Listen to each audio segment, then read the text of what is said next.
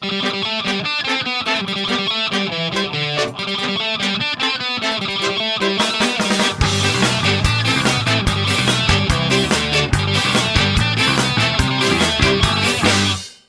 ีครับ Vlog PP หนึ่งสองห้าประจำวันที่ที่ 5 ตุลาคม 2557 ครับ วันนี้ผมจะมาพูดเกี่ยวกับ dating นะครับ แต่คงไม่ใช่ dating ที่หลาย ๆ คนอาจจะคิดถึงกันนะครับ ผมจะพูดเกี่ยวกับ radiometric dating นะครับ ก็คือเมื่อวันพฤหัสบดีที่ผ่านมาเนี่ยจอบพูดถึงว่ามีการวัด อายุของฟอสซิลได้ประมาณเท่าไหร่นะ 240 ล้านปีแล้วมั้งครับ แล้ววิธีการวัดพวกนี้เนี่ยก็คือใช้ radiometric dating วันนี้ผมจะมาอธิบายให้ฟังนะครับว่า radiometric dating หรือว่าวิธีการวัด อายุของสิ่งของโบราณ หรือว่าอายุของฟอสซิลเนี่ยทำกันยังไงนะครับก็หนึ่งผมขออธิบายเกี่ยวกับธาตุและกัมมันตรังสีก่อนนะครับผมต้องยกตัวอย่างคาร์บอนคาร์บอนเป็นธาตุที่มีอยู่รอบตัวเรา แล้วก็มีอยู่ในตัวเราและในสิ่งมีชีวิตทุกชนิดนะครับเป็นธาตุหลักที่ประกอบขึ้นมาเป็นสิ่งมีชีวิตเลยก็ว่าได้นะครับคาร์บอนเป็นธาตุที่มีโปรตอน 6 อนุภาคนะครับแล้วรอบๆนั้นก็จะมีอิเล็กตรอนอีก 6 อนุภาคอยู่รอบๆและในนิวเคลียสเนี่ยนะครับนอกจากมีโปรตอน 6 อนุภาคแล้ว จะยังมีนิวตรอนส่วนมากจะมีนิวตรอน 6 อนุภาคนะครับรวมกันเป็นโปรตอน 6 นิวตรอน 6 เป็น 12 ดังนั้นเราจะเรียกคาร์บอนที่พบกันส่วนมากในโลกว่าเป็นคาร์บอน 12 เพราะว่าคาร์บอนที่เราพบกันส่วนมากมีมวลอะตอมเท่ากับ 12 นะครับ แต่ความจริงแล้วนอกจากนั้นนะครับเราก็ยังพบคาร์บอนที่มีจำนวนนิวตรอนไม่เท่ากับ 6 นะครับ ยังมีนิวตรอน 7 หรือ 8 อะไรพวกนี้นะครับ เราก็จะเรียกว่าเป็นคาร์บอน 13 คาร์บอน 14หรือว่าอย่างอื่นๆ ก็แล้วแต่จำนวนนิวตรอนที่ต่างออกไปนะครับ แต่ก็ใช่ว่าคาร์บอนทั้งหมดจะเสถียรหมายความว่าคาร์บอนบางชนิดเนี่ย โดยเฉพาะคาร์บอน 14 นะครับ เป็นคาร์บอน กัมมันตรังสี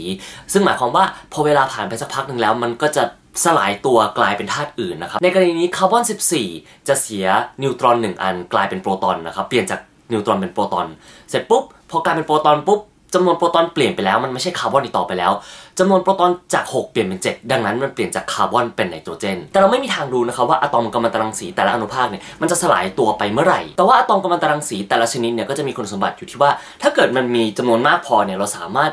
รู้ได้ว่าเวลาผ่านไปเท่าไหร่แล้วไอ้จำนวนของอะตอมกัมมันตรังสีนั่นน่ะจะสลายตัวไปครึ่งหนึ่งนะครับเราเรียก เวลานี้แล้วว่าครึ่งชีวิตหรือ half life นะครับตัวอย่างเช่นนะครับครึ่งชีวิตของคาร์บอน 14 เนี่ยอยู่ที่ 5,730 ปี ดังนั้นหมายความว่าสมมติเรามีคาร์บอน 14 อยู่ทั้งหมด 100 กรัมนะครับพอเวลาผ่านไปประมาณ 5,730 ปีแล้วเนี่ยไอ้เจ้าคาร์บอน 14 100 กรัมของเราเนี่ยมันจะสลายตัวกลายเป็นไนโตรเจน 14 อยู่ครึ่งหนึ่งนะครับเพราะฉะนั้นเราก็จะมีคาร์บอน 14 อยู่ 50 กรัมกับ ไนโตรเจน 14 อยู่อีก 50 กรัมนั่นเอง ทีนี้เราใช้ข้อมูลพวกนี้หาอายุของฟอสซิลหรือหาอายุของสิ่งมีชีวิตที่ตายไปแล้วได้ยังไงนะครับ วิธีการที่ผมจะอธิบายอย่างแรกนี้ก็คือวิธีการที่วัดโดยคาร์บอนนะครับ ก็คือวิธีที่ไอจอบพูดถึงเมื่อวันพฤหัสนี้นี่เอง โดยปกติแล้วเนี่ยคาร์บอน 14 เนี่ยมันมีอยู่น้อยมากในโลกนี้นะครับ แต่ว่าคาร์บอน 14 เนี่ยเกิดขึ้นมาแทบจะตลอดเวลาเลย ในชั้นบรรยากาศ ในชั้นบรรยากาศของเราเนี่ยประกอบด้วยไนโตรเจน ประมาณ 78%นะครับ แล้วไนโตรเจนที่อยู่ในชั้นบรรยากาศเนี่ยเป็นไนโตรเจน 14 ซึ่งหมายความว่ามีโปรตอน 7 อนุภาค และมีนิวตรอนอีก 7 อนุภาคนั่นเอง ทีนี้ไอ้เจ้าอะตอมของไนโตรเจน 14 เนี่ยพอถูกนิวตรอนวิ่งชนนะครับ คือถูกรังสีคอสมิกวิ่งชนปุ๊บ มันจะแตกตัวกลายเป็นคาร์บอน 14 ซึ่งเป็นธาตุที่ไม่เสถียรอย่างที่ผมพูดถึงนะครับและในระหว่างที่สิ่งมีชีวิตยังมีชีวิตอยู่เนี่ยนะครับเราจะมีการแลกเปลี่ยนคาร์บอนกับสิ่งแวดล้อมรอบๆตัวเราตลอดเวลา เพราะฉะนั้นเราจึงสามารถประมาณได้ว่าอัตราส่วนของคาร์บอน 14 ในร่างกายของเรากับคาร์บอน 14 ในสิ่งแวดล้อมเนี่ยมีปริมาณเท่ากัน แต่เมื่อสิ่งมีชีวิตตายลงนะครับการแลกเปลี่ยนคาร์บอนในร่างกายกับสิ่งแวดล้อมเนี่ยหยุดลง เพราะฉะนั้นอัตราส่วนของคาร์บอน 14 ในร่างกาย กับคาร์บอน 14 ในสิ่งแวดล้อมก็จะค่อยๆ เปลี่ยนไปเรื่อยๆ เพราะว่าเราไม่มีการรับคาร์บอน 14 เข้ามาใหม่แล้วถูกปะครับในร่างกายของสิ่งมีชีวิตที่ตายแล้ว ดังนั้นคาร์บอน 14 ในร่างกายของสิ่งมีชีวิตที่ตายแล้วเนี่ยก็จะค่อยๆ ลดลงไปตามเวลา เหมือนกับที่ผมพูดไปเมื่อกี้นะครับตามครึ่งชีวิตของมัน เพราะฉะนั้นเมื่อเราวัดปริมาณคาร์บอน 14 ในซากของสิ่งมีชีวิตที่ตายแล้วนะครับเทียบกับปริมาณคาร์บอน 14 ที่มีอยู่ทั่วไปในสิ่งแวดล้อมเนี่ยเราก็จะสามารถคำนวณได้ว่าสิ่งมีชีวิตนั้นตายไปนานแค่ไหนแล้ว วิธีนี้นะครับเรียกว่า radiocarbon dating ซึ่งทำให้เราสามารถคำนวณได้ว่าสิ่งมีชีวิตนั้นตายไปนานแค่ไหนแล้ว โดยถึงประมาณสัก50,000ถึง70,000 ปีนะครับแต่ซากฟอสซิลที่จอบพูดถึงนั้นมีอายุ 240 ล้านปีใช่ไหมฮะเพราะฉะนั้น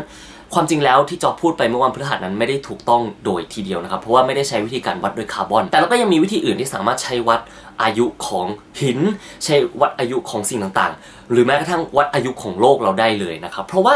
นอกจากคาร์บอนแล้วเนี่ยยังมีธาตุกัมมันตรังสีอื่นๆ อีกมากมายเลยทีเดียว ดังนั้นเมื่อนักธรณีวิทยาต้องการจะรู้อายุของหิน หรือว่าแร่ธาตุหรือว่าฟอสซิลเนี่ยก็จะใช้ธาตุอื่นๆนะครับอย่างเช่นโพแทสเซียมกัมมันตรังสีซึ่งจะสลายกลายเป็นอาร์กอน หรือว่ายูเรเนียมกัมมันตรังสีซึ่งจะสลายกลายเป็นตะกั่วนะครับหลักการก็คือแร่ธาตุสามารถเกิดกับธาตุชนิดหนึ่งได้ แต่ว่าไม่สามารถเกิดกับธาตุอีกชนิดหนึ่งได้นะครับดังนั้นสมมติว่าเรามีแร่บางอย่างนะครับสมมติว่ามีโพแทสเซียมอยู่ในนั้นแร่นี้สามารถเกิดขึ้นได้กับโพแทสเซียมนะครับแต่ว่าพอโพแทสเซียมเนี่ยสลายกลายเป็นอาร์กอนซึ่งเป็นก๊าซนะครับมันก็จะระเหยออกไปนะครับถ้าเกิดไอ้เจ้าแร่เนี่ยยัง